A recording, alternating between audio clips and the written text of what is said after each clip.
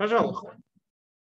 Итак, выступает Александр Коктенков, и формально э, сотрудник э, Шефхаузена, институт, институт технологического института, э, по-прежнему, наверное, сотрудник Eiffel, Eiffel, компании Eiffel Technologies, да? А, Eiffel Software. Eiffel, Eiffel Software. Пожалуйста. Угу. Да, спасибо. Software, okay. Software is buggy. And uh, one source of these bugs is a problem of null pointer dereferencing. In the type safe object-oriented language, uh, whenever there is a method call in the source code, uh, the corresponding method is guaranteed to exist at runtime in the target object of the call. And as, as a result, you never get a method not found exception if you use only type safe language constructs. But what about the target of the call itself? and it's more problematic. And the problem is caused by the possibility to access a reference that may be null at runtime. Indeed, in such type-safe languages like C Sharp or Java, it is possible that some variables or expressions in general don't reference any existing objects or are null. If such an expression is used as a target of a qualified call, it leads to an exception. In other words, behind the simple syntax of a qualified method call, there is hidden semantics that ensures that if the target uh, is null, an exception is thrown. This minor discrepancy between syntax and semantics plays a major role in various software vulnerabilities found on local computers and in the internet. The first step to avoid this problem is to extend a regular type system with notions of non-null and nullable types. A non-null type is used to specify the type of expressions that always returns an existing object. A nullable type is used to specify the type of expressions that may return null. Uh, the type system rules specify when a source expression can be assigned to a target variable. In particular, it's not permitted to assign a nullable expression to a non-null variable. However, when a new object is created, all its fields, including those of non-null type, here the type of field F has an exclamation mark in its type. So such fields are set to null. Therefore, there should be a mechanism that guarantees null safety for non-completely initialized objects. One such solution was proposed by Alexander Summers and Peter Müller. Uh, they suggested uh, extending the type system with so-called free and committed types, where a free type is used for an object that has not completed its initialization, and a committed type is used for a completely initialized object. This adds two more rules to the type system. The first one specifies how to compute the type of a field depending on the type of the target object. If the target call to the field is free, meaning that the object is still under construction, the type is still nullable, even when the declaration tells us the opposite. Another rule covers assignments to object fields. Using this type system, the authors proved the theorem that any valid with respect to specified rules program doesn't cause a null pointer exception. A closer look at uh, the formalization that they provided revealed multiple mistakes and errors. And one of them is shown on this slide. This is an example of a lemma from the formalization. So you, you can see there are uh, five mistakes in uh, nine clauses. One Alexander, Alexander, sorry. Uh, since uh, people still are joining, uh, could you please a little bit slow presentation? Don't rush. Oh, okay. Okay. okay. because I see people should join, people should come. Please okay. continue. Mm -hmm. Okay. So uh, you can see that uh, there are five mistakes and nine clauses. One premise uh, uses a reverse order, uh, three premises are missing, and uh, one conclusion is too strong in the original paper. So do you still believe in proofs on paper? um, uh, in the rest of the talk, I'll describe the type system. It looks simple, so you saw three tables before, but there is hidden complexity uh, that uh, I'm going to describe. Uh, the formalization uses uh, a particular model of the heap, and the original version uh, has several problems with this model. And then I'll describe semantics of the model language and show some elements of the proof of soundness. Let's start from the basics. Any program is built uh, from classes and classes form a partial order. So it means that some classes are comparable. And in, in this case, one is called a descendant, another one an ancestor. Classes uh, have methods and fields. Every descendant uh, has a method and um, all fields of its ancestor. A type is a triple composed of a class name, initialization mark, and nullability mark. Initialization marks stand for free, committed, or unclassified types. Nullability uh, question mark means nullable, or uh, means that uh, the value may be null, and uh, exclamation mark means non-null, so it's, it's never null at runtime. Initialization and uh, nullability form partial orders as shown on the slide. In terms of uh, assignment, a free or committed expression can be assigned to an unclassified variable. But um, for example, an expression of a free type cannot be assigned to a variable of a committed type. Pairwise comparison gives us the partial order on the types. So far, I was talking about types of local variables and arguments. Types of fields don't have any initialization mark. They have only a nullability mark. Let's take a look uh, where the types are used. Function f-type gives the type of the given field in the given class. Similar functions exist for methods and constructors. For method m in class C, function msig returns a tuple describing the method signature. It tells whether the target is free or committed, so it's a variable gamma, and specifies the names and types of arguments. X, then um, result, S, and local variables y. All of them, uh, I mean, the types of, of um, all these variables are triples, as I mentioned earlier. A function C sig returns the signature of a class constructor.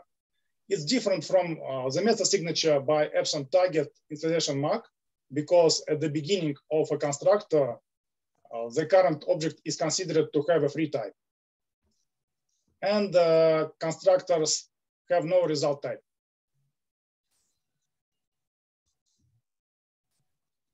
In a descendant of a class, the type of a field uh, cannot change. The type of a function result follows the same order. For example, if the result was unclassified, it can have any initialization status in the dependent. And uh, the types of arguments or um, of target initialization follows the reverse order. For example, if an argument was committed in uh, the ancestor, it can remain committed or become unclassified in the descendant. The model language is very simple. It uh, has just three forms of expressions. Variable access, field access, and the constant null. Uh, by variable, I mean a local variable, a formal argument of a method, uh, or one of two special variables. The variable this refers to the current object, and the variable rs refers to a result of a function. The language has uh, six statements. It distinguishes between assignment to a local variable and to a field. There are instructions to call a method and to create a new object. A cast uh, allows checking if another variable has a specified type. And finally, um, statements can form sequences using sequential composition. A statement is well formed if it satisfies a rule that a user cannot assign to a special variable this, denoting a current object. In this diagram, it's the places where X is used. In other words, this can never appear at the places indicated by X. Similar restrictions apply to method and constructor signatures. I will not describe the formula on the first line. It's used to model a limited genericity. Um, by the way, most formulas here and later are taken directly from Isabelle/HOL formalization. Sometimes they're using um, Isabelle/HOL specific notation, and I'll try to explain what uh, such notations mean. The second line states that the special variable, uh, this uh, shouldn't be used uh, to name local variables uh, and arguments. The same applies to result. And names of all variables and arguments should be different from each other. such restrictions uh, seem natural, but in fact, I can easily imagine a language without such restrictions, uh, example, for example, from the first, from the, from the last one. And in this case, we just need to invent rules to handle ambiguity. And similar restrictions apply to constructor signatures. Uh, the judgment on this slide says that expression E in typing environment gamma and the set of assigned variables delta has type T. The typing environment tells the type of a given variable in the given context. Uh, the set delta keeps track of variables that have been assigned already. The judgment um, is specified for all three expressions available in the language for variable access, for the null constant, and for field access. And the last one is the most interesting. In particular, it captures the typing rule that I mentioned at the beginning of the presentation. Uh, the table is encoded in the equalities for initialization and nullability status. Similar judgments exist uh, for statements. Compared to the previous one, there are two new elements. First, the set of assigned variables appears on the left and on the right and the one on the left corresponds to the set of assigned variables before the given statement. The one on the right corresponds to the set after the statement. And second, the set of assigned fields works like the set of assigned variables, but uh, instead it tracks uh, fields. There are six typing rules for every statement. I will not go into the details here but uh, let me focus on two rules. The typing rule for variable assignment reflects uh, the assignment restriction found in uh, most null-safe languages, like uh, in uh, Kotlin, or uh, optionally it's available in C Sharp or Java. And the typing rule for field assignment reflects the restriction introduced by the approach based on free and committed types. In particular, you can see that uh, the table is described by the disjunction uh, k1 is equal to zero or k2 is equal to one.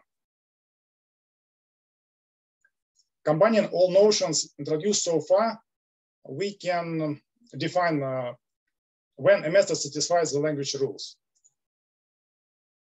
Method M of class C is well formed if it satisfies all of the following. So its body is well formed, its signature is well formed, result is properly initialized. I will come back to this uh, in a minute. And um, the body is well, well typed.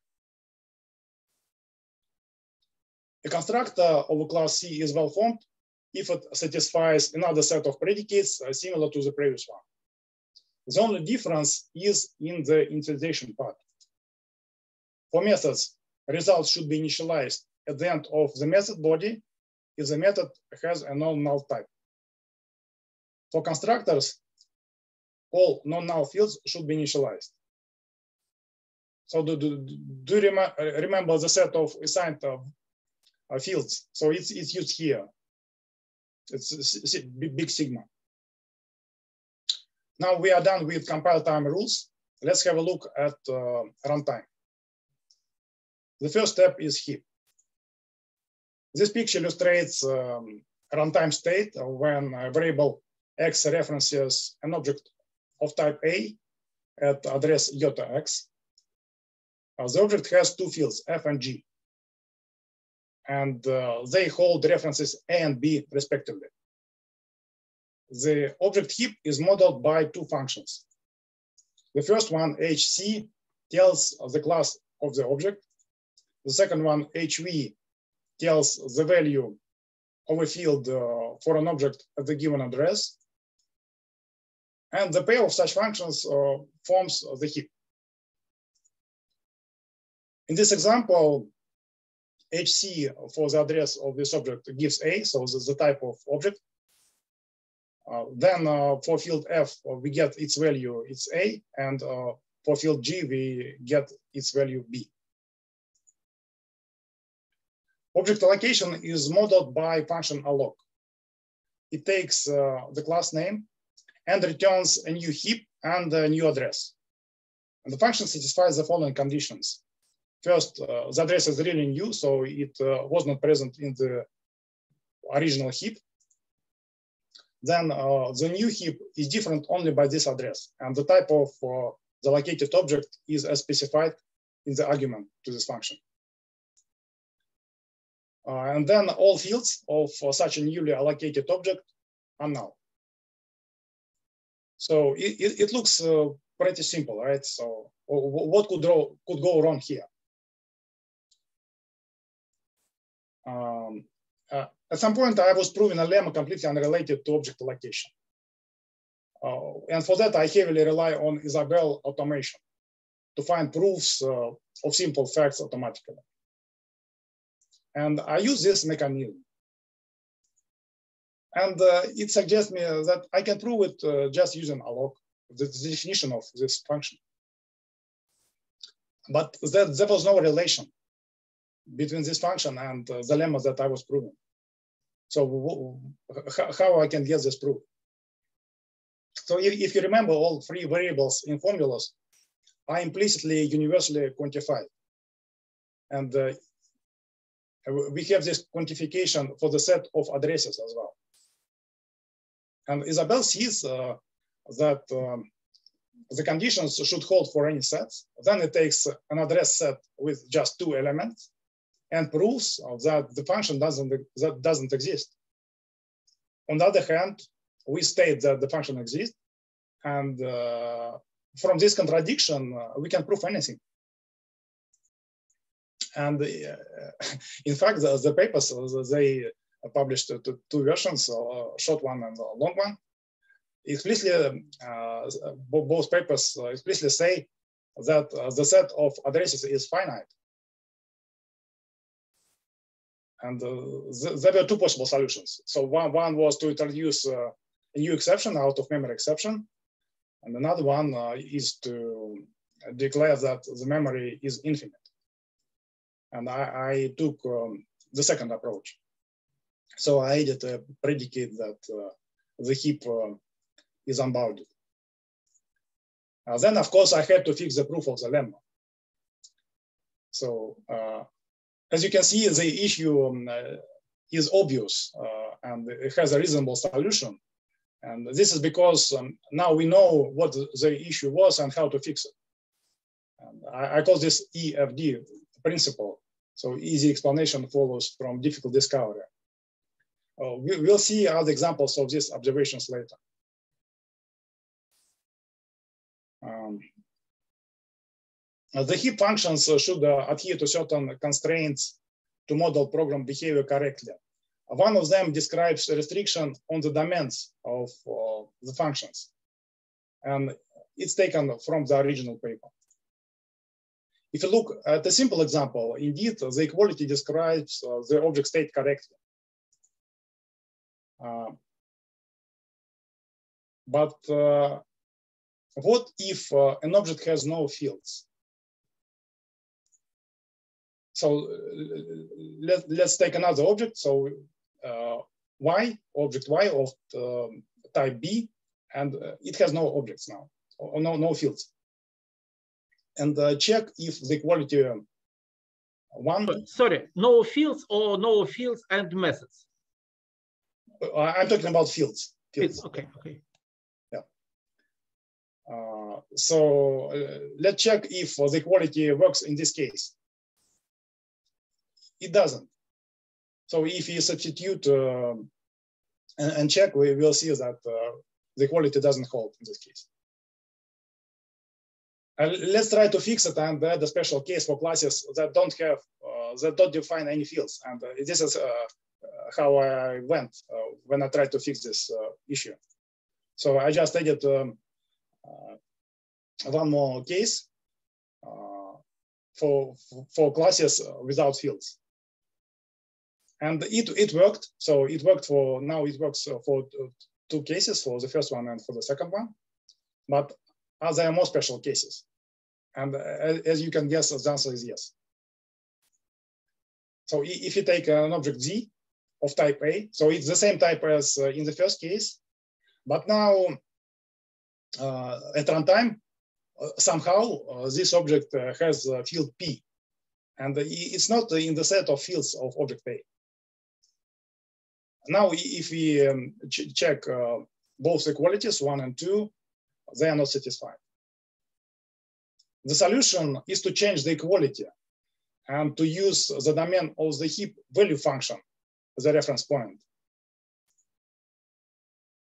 So I uh, used this uh, third equality instead and uh, could, could uh, properly describe the state, of, the state of objects in the heap uh, without any problems.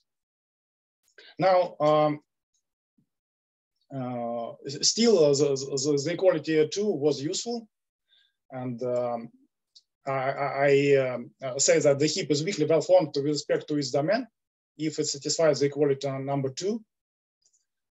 And the, the heap is uh, strongly well formed with respect to its domain if um, it satisfies the equality number three. And in fact, it turns out that uh, every uh, strongly well-formed heap is weakly well-formed. Therefore, it's okay to use the weak definition when suitable. Unfortunately, uh, sometimes uh, I had to use the strong definition. Uh, finally, there is um, a restriction on the image of the heap function. Informally, all fields of all objects in the heap should either be null or point to some other objects inside, inside the same heap. So there should be no uh, uh, arbitrary external references.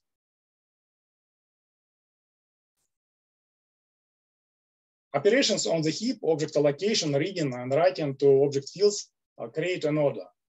And every successor heap has all objects uh, of the predecessor heap. And these objects have the same types. The diagram illustrates when heap one is a predecessor of heap two. As you can see, the object at address iota has type A in heap one, and we have um, the object of the same type at the same address in heap two. And heap one is the predecessor of heap two. Now we are ready to discuss program execution. Uh, let's start from expression evaluation. The rules on the slide describe evaluation of all three expressions available in the language. For the first one, um, it describes how to get the value of uh, the local variable x. It just we get it from the evaluation environment sigma. Then the value of uh, null is null at runtime. And the value of uh, field uh, f of object x is either the value from the heap, taken from the heap, if the x is not null, or we get, uh, uh, here it's denoted deref x, it's um, null pointer exception. And uh, in addition to null pointer exception, there are two more states in the model. OK describes normal execution without any exceptions.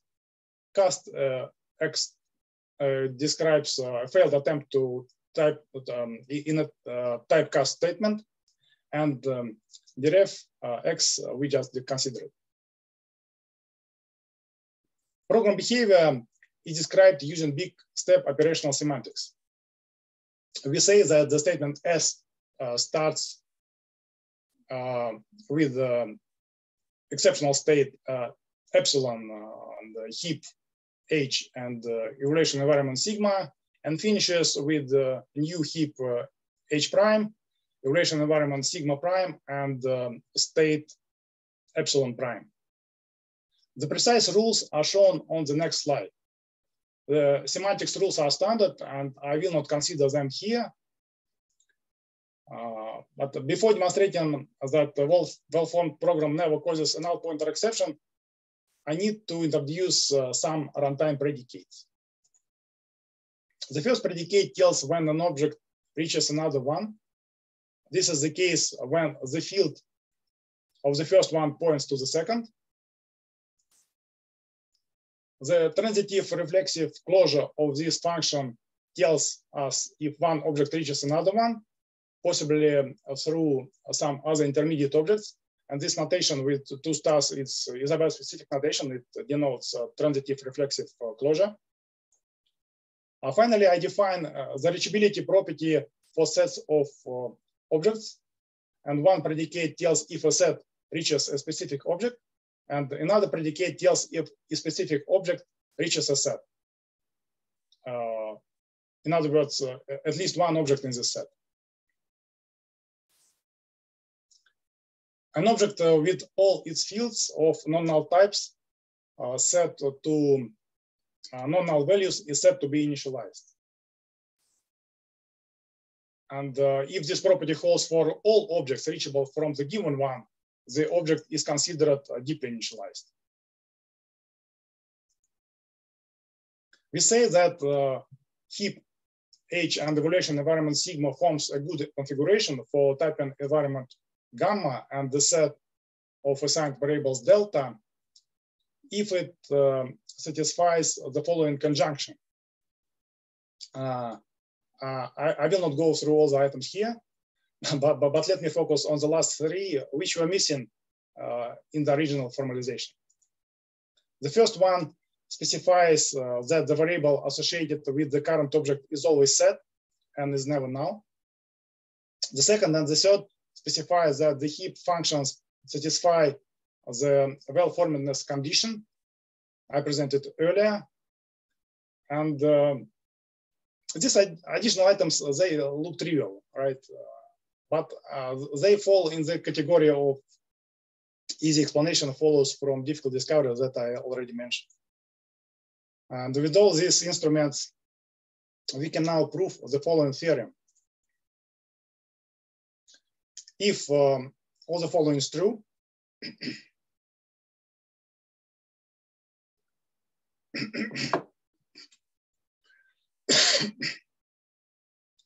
uh, if uh, sorry. Uh, if you start um, from uh, a good configuration and um, uh, the program is well typed and um, the program goes from the given state um, to another one.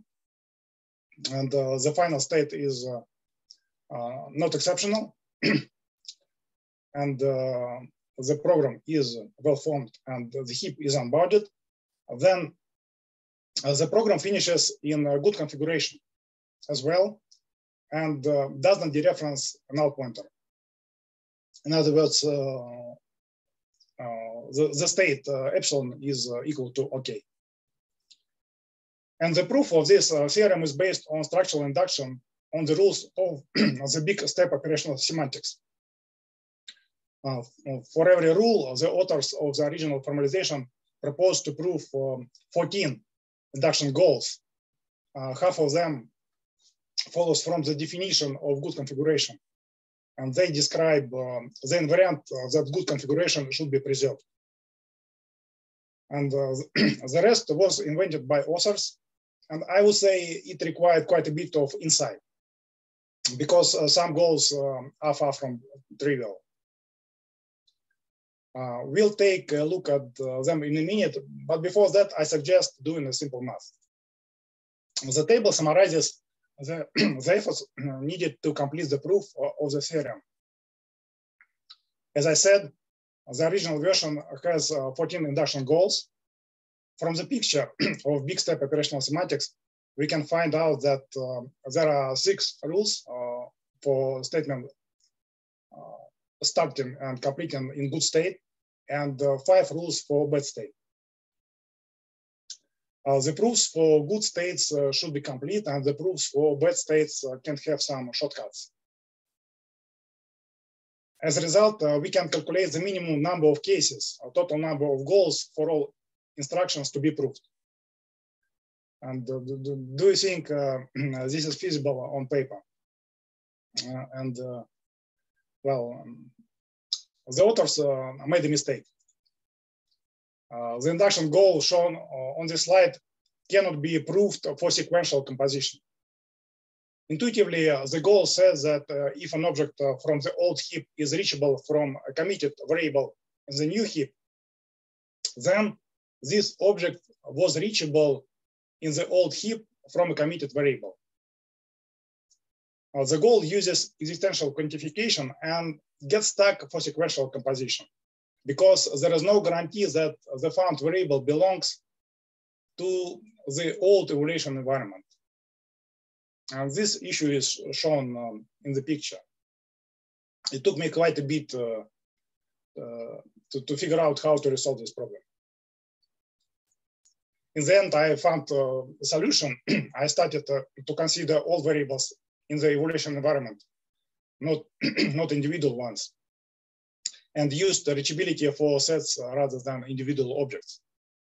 And uh, thanks to this change, the proof went through, and I was able to demonstrate the soundness of the approach in Isabelle/HOL. Uh, this table gives you an idea about the result and uh, the efforts to get it.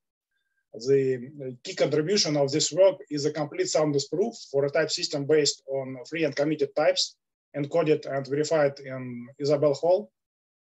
More specifically, I reported errors in the original formalization proof. I resolved found issues uh, by introducing new runtime model properties, including those for the heap and for object reachability. I added new induction goals uh, that are critical to complete the proof and provided the first mechanically checked solution for the null safe uh, initialization problem. it means that if um, the model language can be correctly extended to a real one, developers uh, can forget about null pointer exceptions in their programs. So that's it, uh, what I wanted to present. Okay, thank you very much. Uh, a little bit fast for me, but uh, I, I believe that we have enough time to ask questions. Yeah, yeah. Вообще говоря, мы можем перейти на русский, потому что все участники понимают, понимают, все говорят по-русски, однако отвечать по существу можно и по-английски, если Хорошо. вам удобнее, чтобы не... Я, если позволите, я задам один, один, один совершенно наивный вопрос можно вернуться к семантике исполнения программ. Э, слайд, я не помню номер слайда, там, где вы пробежали очень быстро. Угу. Угу. Да, да, вот этот слайд. Вот. Э, вопрос будет э, длинный, но на самом деле вопрос очень наивный. Да, конечно, 200 э, страниц доказательства Холла можно передать, так, готовое доказательство, можно передать другому, другому, ну, тому же Коку или кому-нибудь, какому-нибудь еще автоматическому доказателю и проверить, что это действительно построенное является доказательством. И тем не менее, так как мы пробежали очень бег, бегом, буквально не обсудив ни одного правила, я очень прошу прокомментировать хотя бы одно правило, подробно разобрать, Затем, чтобы сказать, что вы не вложили ложь заведомо в посылки. Понятно? А, да, да, понятно. Вот. Иначе просто действительно, если вы спрятали очень хитро ложь, Это не в смысле высказывания, что вы обманули. Спрятали хитрое ложь, что 200 страниц доказательства ничего не стоит. Хорошо. Угу. Да, ну давайте прям можем взять по порядку. Да, причем вот буквально, буквально вот по шагам, что и что в этом правиле. Потому что вы рассказывали в очень быстром темпе. Прошу, пожалуйста. Да, да. Да. Хорошо. У нас, допустим, есть э, присваивание. Мы переменную x присваиваем выражение e. Угу. Так. То есть мы, мы начинаем э, с, с указанной кучи э, h с состояния переменных сигма, и у нас состояние выполнения окей, то есть у нас никаких исключений не было. И, и после этого мы переходим в это состояние. Куча у нас при этом не меняется, потому что мы не присваиваем никакому полю объекта. Далее мы изменяем значение переменной x на а, значение выражения. Да, в соответствии с посылкой правила, да. Да, то есть мы вычислили значение выражения, и мы присваиваем это значение переменной x. И поскольку тут никаких исключительных ситуаций не возникает, у нас состояние остается окей.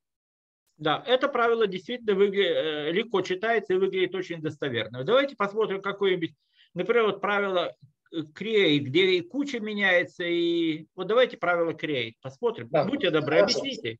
Хорошо, да.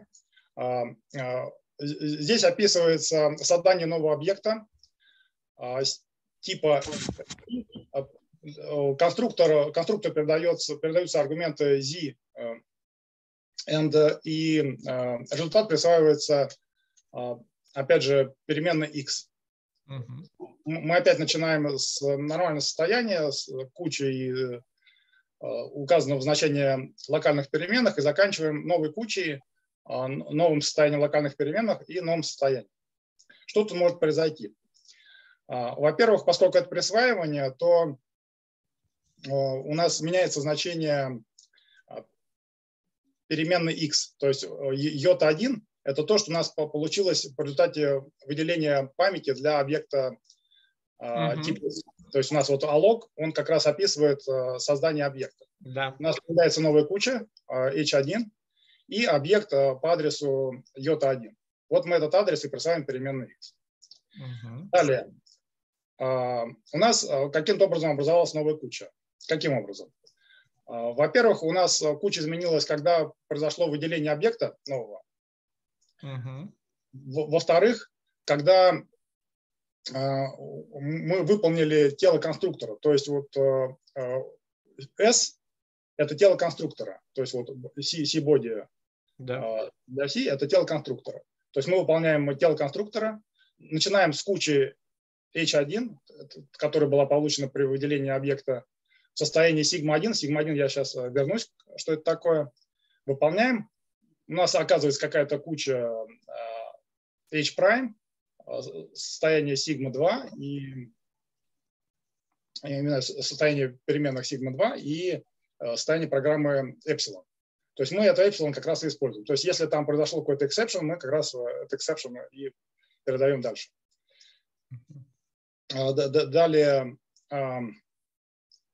Сигма-1 получается при а, а, выполнении конструктора. То есть мы при выполнении конструктора должны заменить э, все текущие переменные, текущий объект, э, аргументы и так далее. То есть мы меняем this у нас становится равным тому объекту, который мы выделили. Э, это новый, новый объект. Создаваемый объект. Да, да, то, что был создан, то, что да, да. allocate вернуло, да, то есть это тот объект, который был создан. Дальше аргументы – это просто значение переменных, которые мы передавали в конструктор. То есть вот мы взяли все значения переменных z и присвоили их аргументам э, конструктора. А все локальные переменные мы просто обнулили. То есть они у нас изначально состояние null. Угу. Вот как бы как это, а, а, это правило описывает. Понятно. Понятно, спасибо. На самом деле вот словесное прочтение правил очень помогает. Спасибо. Да, а, по всем пройтись, если интересно. А, давайте, может быть, какие-то есть вопросы другие. Другое дело, что потом можно вернуться и еще раз пройтись по, по, по оставшимся правилам. А, пожалуйста, вопросы. Извините, пожалуйста, у меня не вопрос, а такой комментарий все-таки. Мне кажется, что ну, такой материал в таком темпе, вы, наверное, все очень гениальные усваивать. Я вот, мне тяжеловато, если честно говоря. Для меня, мне, мне кажется, что это можно, ну, так раза в два с половиной медленнее. А, Потому что э, хотелось бы и под правилам посмотреть, и примеры какие-то увидеть. Ну, вот как-то это для меня, ну, очень быстро. Вот, ну, это Мы можем сейчас просто вернуться к конкретным каким-то слайдам и что-то там проговорить. Не-не, Александр, это точно нужно, ну, ну минимум там ну, на два семинара, наверное, растягивать. Ну, ну, да, потому что просто, да, просто... Это, да, не, просто... Это, это невозможно. Ну, то есть хотелось бы, конечно, вникнуть, но с такой скоростью я не успеваю. Да, ну тут просто, да, тут просто материала столько, что я пока вот не очень понимаю. У меня даже проблема со статьей та же самая возникает, что э, очень много материала, и как его вместить, э, не очень понятно. Вот, а, а я как раз хотел бы просить, э, есть ли такой же материал, но только в виде буквок, чтобы тоже помедитировать над всеми вот этими формулами. Да, ну я надеюсь, что он когда-то появится, просто пока это вот в стадии как раз на написания. А. И еще, я, еще я там правильно понял, вот э, можно на, на сейчас э, на слайд, где проверка типов? Это раньше. Э, Сейчас.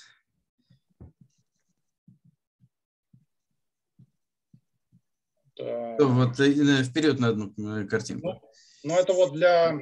Вот, вот здесь вот я... Стой, стойте, назад. назад. Э, вот не, что всплывайка была с единичкой, ноликом и ромбиком. Okay. Вот, я правильно понимаю, что внутри конструктора поля можно присваивать э, только значение, э, э, только значение корректно созданных объектов. А, как, как, что, как... что означает вот эта всплывайка? С, а, с галочками. Да это, это, да, это было вот в самом начале презентации. Там э, для э, присваивания введены определенные правила. То есть присваивание допустимо только если у нас переменная x и переменная y а, а, имеют вот а, определенный тип. То есть не для всех комбинаций типов присваивание допустимо.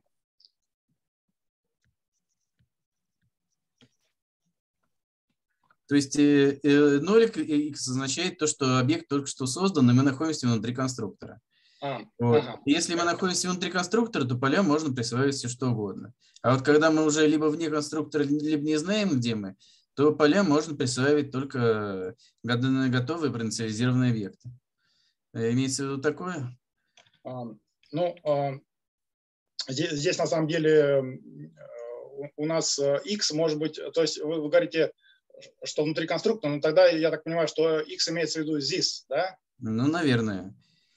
А. Или как там? Да, но просто x в данном случае обозначает не только this, это может быть э, любая локальная переменная, это может быть э, а, результат, например, функции. То есть uh-huh. это просто общее, общее правило, которое описывает правило присваивания. То есть когда uh-huh. по, по, по полю может быть присвоено значение. И uh-huh. если мы знаем, э, что вот x это нолик, это означает free, то есть объект был создан, но еще не инициализирован. И мы знаем, что он не инициализирован тогда без разницы, что мы присваиваем полю. То есть можно присваивать э, по, по, по полю а, а, переменную инициализированную, инициализированную, любую. Вот. А если мы знаем, что а, переменная x э, уже полностью закончила инициализацию, то есть коммитит тип, тогда y тоже должна быть коммитит, то есть она тоже должна быть полностью проинициализирована. То есть это гарантирует, что у нас не возникает Э, что была переменная параинициализирована, потом стала не параинициализирована, то есть нет вот такого. То есть у нас э, инициализированные переменные могут быть, могут, э, точнее, поля объектов инициализированных могут получать только инициализированные значения. Mm. Вот. А каким образом у нас, кроме как здесь внутри конструктора, переменная может иметь тип ромбик? А это объявляется. То есть мы, мы же можем а, а, а, объявить в скажем, у нас локальная переменная, можно объявить, что она у нас unclassified, или аргумент функции может быть unclassified. Так, так, стоп, точнее не ромбик, а значение 0, free. А, ну то же самое. Мы, мы можем объявить, что у нас э, переменная имеет тип free, то есть а, она не, не инициализирована. Или, или аргумент, например, мы можем передавать, э, вызывать какой-то метод, и аргумент может быть, э, может иметь тип free, то есть он, мы знаем, что он не, не инициализирован, но мы хотим его как-то использовать. Это, это, mm-hmm. это можно делать. Ну, то есть э, внутри конструктора мы можем вызвать э, какой-то э, какой метод, либо какую-то функцию да, да, вот, да, да. и передать туда здесь. Да, да, да. То есть, например, и, да, нас, ну, это чтобы избежать, например, дублирования кода, мы можем иметь какой-то метод, и мы можем его вызывать из разных мест. Вот, и для этого... В том числе из конструктора. Да, да, да. да. А, понял теперь.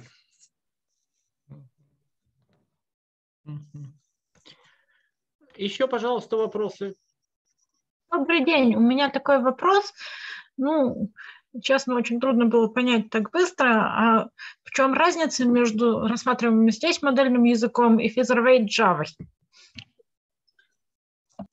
Ну, здесь язык э, максимально упрощен. То есть на самом деле он э, э, взят, чтобы моделировать максимально близко ту же Java или C-Sharp. И изначально эти авторы, они работали над э, моделями для C-Sharp и участвовали в проекте Spec который э, тоже э, ставил целью гарантировать null safety.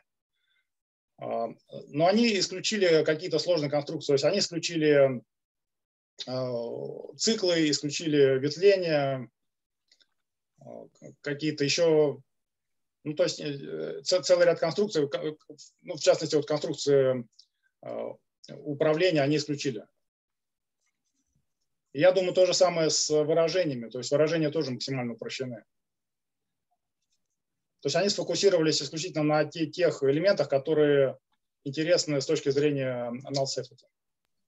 А, ну то есть понятно, то есть можно рассматривать это как подмножество физервейт Java, но только да, да, да, да. Да, да с кучей. Да, да, ну да, но, но там, э, да, та, та, там э, условная конструкция есть, там циклы есть, насколько я помню. Да, здесь, здесь да, да. да, да. И, и, и, и по-моему, тут еще разница с, э, с конструкторами. То есть там Featherweight Java, там, насколько я помню, неявно вызывается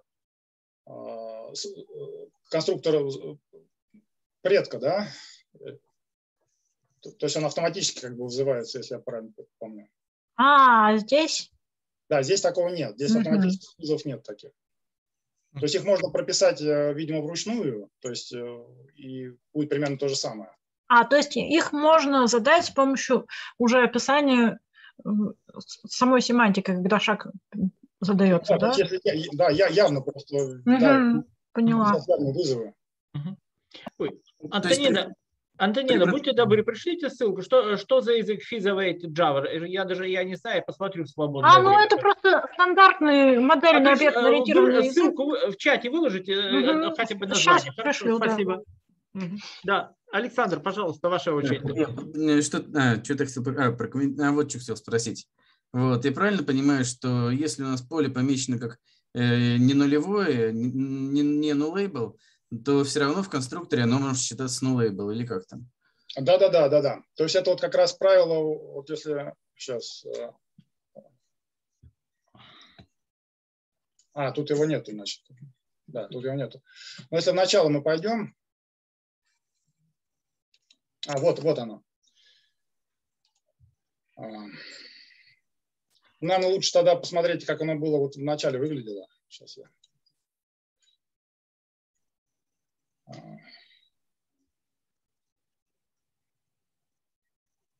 Да.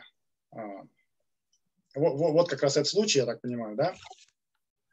А, то есть, то есть мы, мы знаем, что у нас а, по поле, вот восклицательный знак означает, что у нас поле non-nullable, то есть оно, по идее, должно быть всегда парентизировано какой-то ссылкой существующей. Но с другой стороны, цель вот этого вызова, то есть вот x в этом выражении, оно free. И, и в этом случае действительно а, оказывается, что тип, он nullable. Несмотря на то, что поле имеет non-nullable, если вызов производится на свободном объекте, на free объекте, то тип считается, что он nullable. Потому что у нас этот объект, вот x, он мог еще быть не персонализирован. И по умолчанию все поля были null.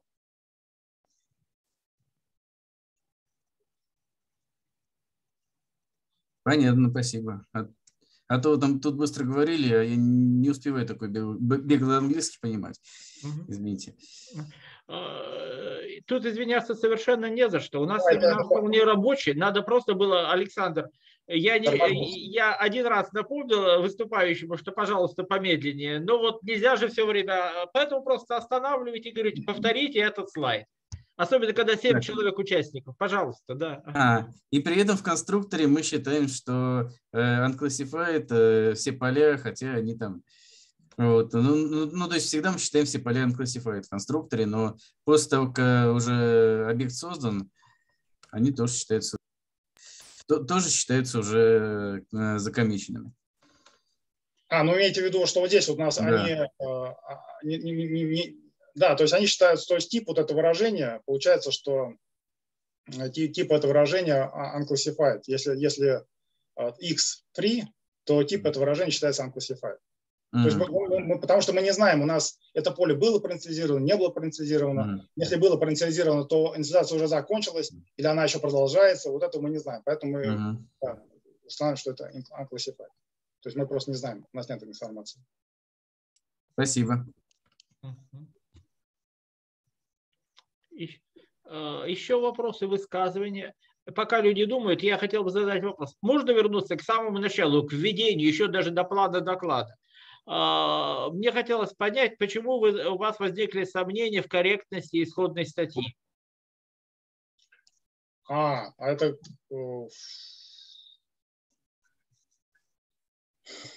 Ну, тут даже, не знаю, у меня тут на слайде такого нет, наверное, да, ничего. А, ну, честно говоря, там, э, э, значит, э, статья сама, она ссылается на технический, техническую статью, другую, в которой и говорится, что вообще-то все доказательства приведены в этой технической статье. Uh-huh.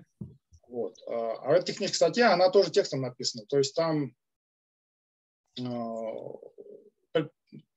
примерно 40 страниц текста, из них вот 20 посвящено доказательству, и 20 это вот просто описание вот этого всего подхода. Uh-huh. Но как, когда начинаешь смотреть, то там просто выплывают какие-то явные ляпы, когда а, а, ну, вот как я... А, ну, у меня наверное, было... было. Значит, в самом начале, да, да, да. Да, да, да, да, да, сейчас. Это, наверное, вот было... Вот, вот этот слайд, да? Да, да. Да, да, да. А, вот его еще раз прокомментируйте, потому что он тоже он был вообще на суперскорости и да, это, это просто вот один из примеров, э, то, то, то, что было написано вот в этой расширенной статье, и то, что на самом деле получилось. То есть я просто пытался когда доказывать, э, и я просто брал то, что написано вот в, этой расширенной статье, и пытался это доказать в Забел Холл. Uh-huh. И в, в какие-то моменты я просто упирался в то, что доказательства не, не получается, что-то не, не, не, чего-то не хватает, или какие-то утверждения, они неверны, или а, там очень много проблем с обозначениями, то есть какие-то вот, как, как вот здесь, я так понимаю, они просто перепутали, что какой класс является предком, какой потомком. То есть вот это вот первое вот это, то, что они взяли да. и поменяли CED, то есть а, предок и потомок, что, в каком порядке. И, э, а, а когда доказываешь, э, на самом деле э, леммы, которые там были, они такие достаточно абстрактные. То есть они непонятно в каком контексте иногда и, и, и как, какой результат и где они будут использованы, главное. Потому что потом это, эти все леммы, они используются в доказательстве корректности вот этой теоремы, но когда эти леммы доказываются, непонятен контекст, как они будут использованы. Поэтому достаточно сложно предугадать, что, что, что хотят вообще от этой леммы получить. Mm-hmm. Вот. И э, когда я просто доказывал, то вылезли вот эти все проблемы, которые там были в, в этой статье. Я еще, если позволите, я задам еще один наивный вопрос. Вот видите, у вас всюду весь, всегда идет работа только с полями. На самом деле от полей можно вообще отказаться. Все можно сделать методом, просто который возвращает констан, ну, константу какую-то. Вот. Или что-то в этом роде. Наверное, как-то можно попытаться сделать. Почему методы совсем не играют никакой роли? С ними никак не приходится работать. А, как, как, как же методы на самом деле? Э, на самом деле, пере, э, значит, э, сделать динамический метод, который ссылается на, ну вот, берет из какой-то из нового куска памяти, где что-то вот хранится переменное и возвращает это значение. Я, наверное, не очень понял вопрос. Ладно, а почему методы не играют никакой роли? А что, а что значит не играют роли? Ну вот во всех ваших правилах всегда только работа с полями. Э, например, как-то могут методы привести к какой-то проблеме с, с, с null pointer? Или не могут? Ну, ну вот смотрите, вот здесь, например, у нас как раз э, речь о методе. Да. M. А, вот. И а, значит, а, здесь вот проблема была с сигнатурой. Угу. Мы смотрим сигнатуру, то есть что возвращает метод в предке, что в потомке. Вот, и смотрим, как соотносятся эти типы. То есть они вот здесь вот э, в оригинальной версии они равны были, а оказывается, что они не равны, они на самом деле тоже uh-huh. там частичный порядок какой-то. Uh-huh. Вот, то есть э, методы вполне себе используются, и там достаточно много с методами связано. И в частности, а, а, а, а вот та проблема, а, ну, ну там нам не то. А, а, то есть я имею в виду само доказательство для случая, для метода, оно достаточно сложное. То есть вызов метода и доказательство, что когда мы возвращаемся, мы оказываемся в хорошем состоянии, то есть у нас конфигурация хорошая, все, а, все хорошо, это достаточно сложное доказательство получается.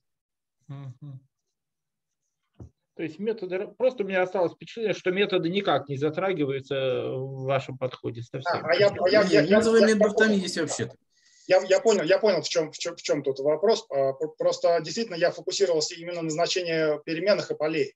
Да. Потому что, а, да, потому что вот эти все правила, они касаются как раз значений переменных и полей. То есть вот эти правила присваивания, правила для типов выражений. То есть мы смотрим на тип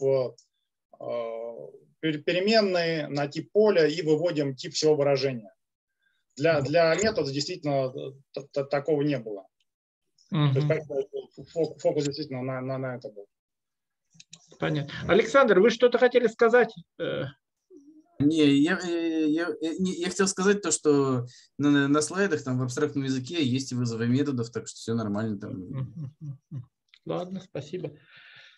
Еще высказывания, вопросы, пожалуйста. То есть вы сейчас готовите статью, э, статью э, на этом материале. И куда вы готовите статью?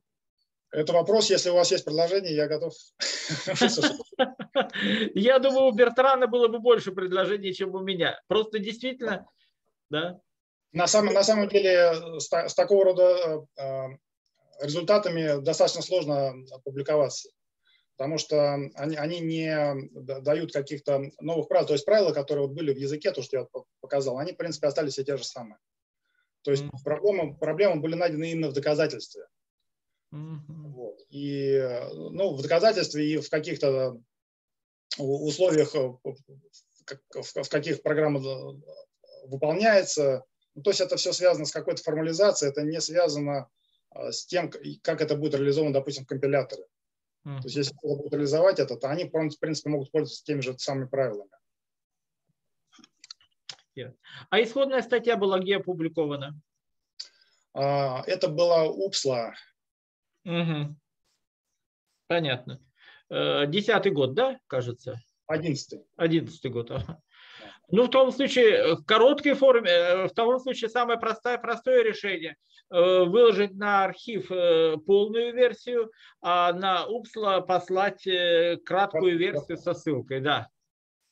Ну, возможно, да, возможно. Потому что вот, вот, вот проблема...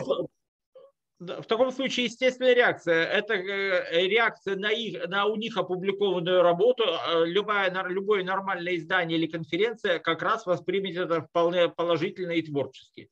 Да. Ну, хорошо, да, я, может быть, так и сделал. То есть э, расширенную версию со, со всеми выкладками, угу. а да. краткую просто с э, результатом. Да, на, в то же самое место, где была первоначальная работа, да. Спасибо. Так, на самом деле, спустя какое-то время, я, особенно когда у вас будет готова статья, я бы попросил вас еще раз выступить, потому что материал очень сложный, но, по-видимому, ну вот, э, очень э, требует более внимательного и медленного, еще повторного прослушивания. Может быть, мы к вам обратимся еще раз с просьбой выступить, вот когда будет готова статья. Дайте сдать, хорошо? Да, хорошо. Но я вот у меня такое подозрение, что вот по, по этому материалу в один семинар не, не вместится. То есть я вот даже сейчас пытался все это сжать и все очень быстро, но мы, мы уже проговорили больше часа. Да. Если это будет э, такая более глубокая, то просто со временем проблемы начинаются. А, вы знаете, у, нашего семинара проблем нет. Мы обычно проводим а, одно заседание час-полтора. Если человек не укладывается, то тех, кто, тех, тех, кто, тех, кто заинтересован, мы просто приглашаем не через две, а через неделю на дополнительное заседание. Вот и все. Это у нас регулярно делается как раз э, с, верифика... с верификацией. Обычно Кондратьев... Да, я уже был в таком семинаре. Да, да. Обычно Кондратьев не укладывается в один, в один семинар. Совершенно верно. Да. Да. Ну, тогда на сегодня все. Хорошо? Ну, ну, с другой стороны, можно провести, наверное, серию семинаров, э, разбить доклад на главы. Э, да, совершенно верно. На самом деле, когда я говорю, что два семинара, так оно и есть. Один, это, если угодно, для, для всех, кто заинтересуется, приходите через неделю, дослушайте дальше. Да. Да. Да, спасибо. Э, да, спасибо всем, если вопросов больше нет. Встречаемся через неделю. Опять приношу извинения, что объявления на следующую неделю пока нет, хотя два кандидата на следующую неделю. Один выздоравливает после нынешнего ковида, слава богу, не очень тяжелого у человека – и от этого зависит, какой будет порядок выступления. Но следующий семинар, скорее всего, будет э, Перепелкин, скорее всего, э, Владислав Перепелкин с доказательств, с рассказа про систему планировщика для параллельных, автоматического планировщика для параллельных архитектур. Скорее всего. Все, спасибо. Александр, очень жду от вас слайды, э, если вы не против поделиться слайдами. А, хорошо. Все. Спасибо. Через, э, через неделю заседание будет. Все, до свидания. Угу. Угу. До свидания. До свидания.